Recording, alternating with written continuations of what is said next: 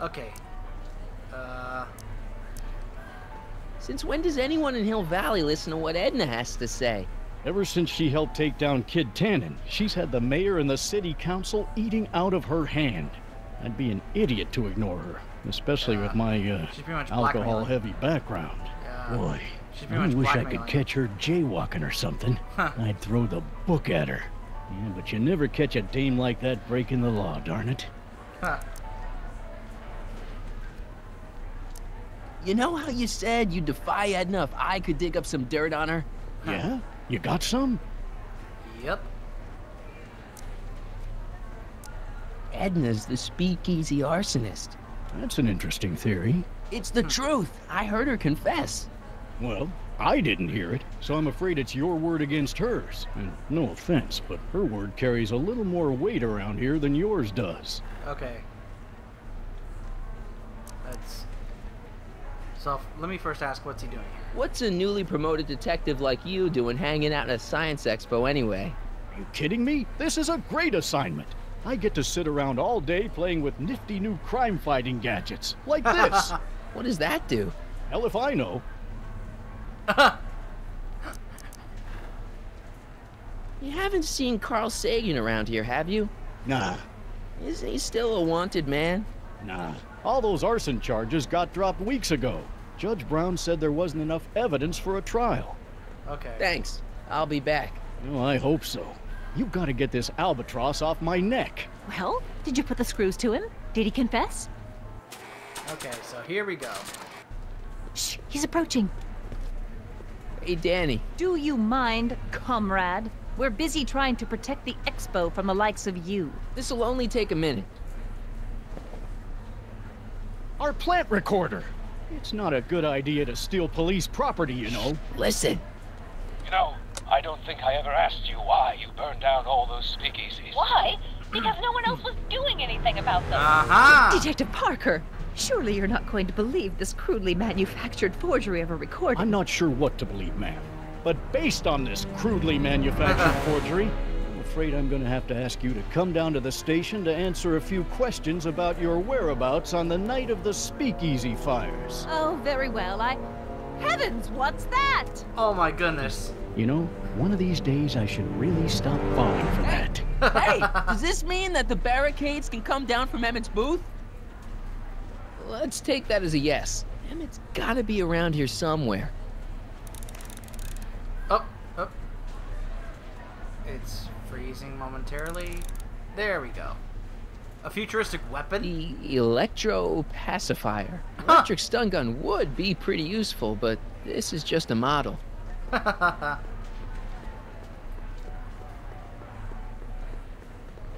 okay, now let me try try this.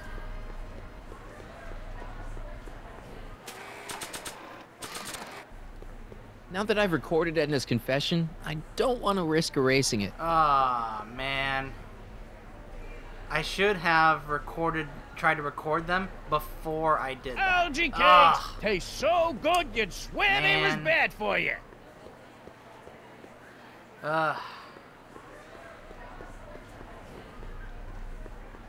Okay. Let's go here. Ah, I messed that up. I guess I'll have to try that out later. Cause I know, cause I know there's a trophy for that. There's a trophy for recording everybody at the expo, and I guess you're supposed to do it before you put the plant in the phone booth and record Edna's confession. So I'll, ha- I'll have to try that later. No one in here. What? Wait, a- what?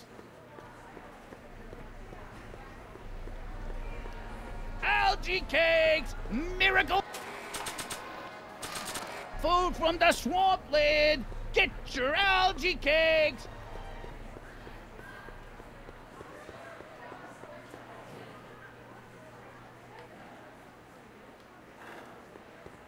Can he go up there now? Emmett's gonna fly his electro.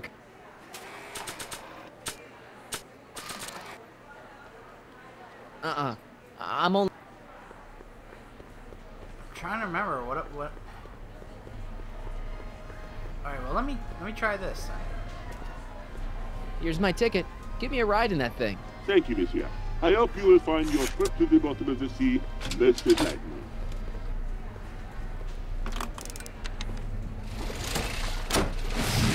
Check this out. See how this thing works.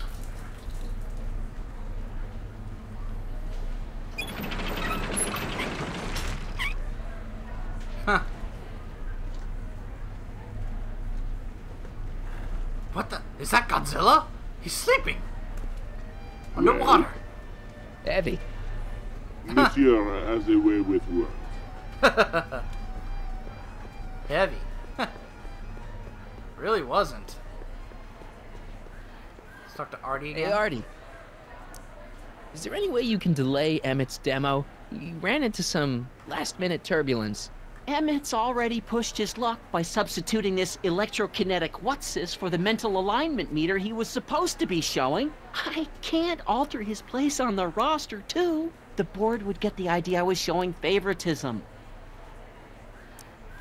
You sure you can't just push Emmett's slot back a little? I could eliminate it altogether. Would that work for you? No. What? I was just remembering a time when you refused to take me to the zoo. Huh? Nothing. See you around. Hey, Artie. Have you seen Emmett? He isn't at his booth. Odd. Well, he hasn't left the hall. I would have seen him. I'm sure he's around here somewhere. See you around. Huh.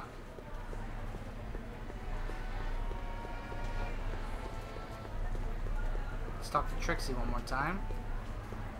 Hiya. Hi, Trixie. Now, what can I do you for? I don't think Edna's gonna be an obstacle anymore. So she was the speakeasy arsonist after all. Yep. Kid was right.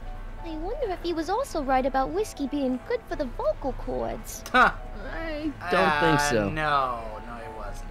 You seen Emmett around? I'm kinda worried that he's not at his booth. Hmm, let me think. Uh, yeah. He wandered down that way a little while ago. What way? He was talking real intense with another guy. Older guy? Looked a lot like Emmett in the face? Yeah, uh, uncle or something? Or something. Huh. Thanks.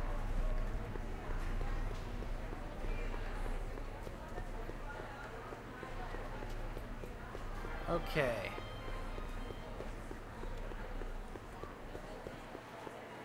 Can I do this now? Huh.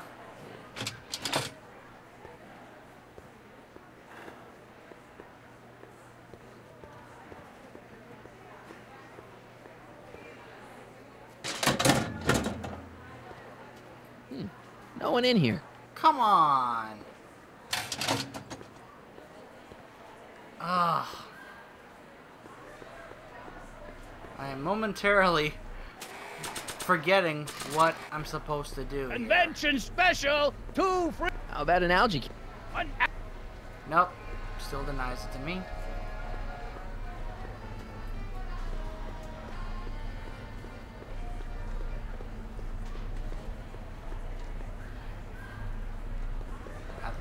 Hose.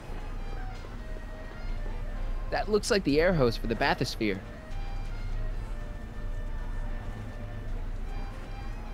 Okay. Oh, no, no, no, no. Come on, Emmett, where are you?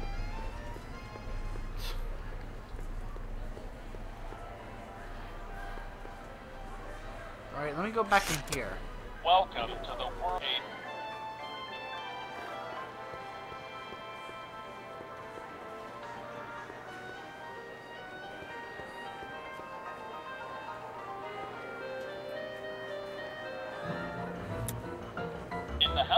Future, phone conversations will be completed. Please experience. Klondike. Gee. Yep. It's me. Oh, Could you get Emmett for me? oh, I would, Mr. Sagan, but I can't see the kid nowhere. In fact, Oh, yes, uh, right. Hang on. Conversation. Oh man. I'm a little stumped here.